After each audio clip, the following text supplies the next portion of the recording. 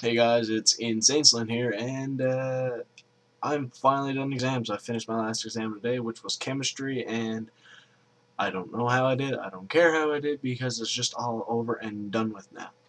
Um, all three of the, I don't know what to call us, directors, uh, video makers, peoples on this channel uh, finished our exams today and that means that we can all be back to our normalness of being able to put out videos more often. Uh, I will probably, um, I was trying to make one tonight with the red envelopes and me getting my red crit or getting a craven but now MapleStory has gone offline. So I guess I'll say that for tomorrow. I bought 276 red envelopes and I got about a hundred of them open.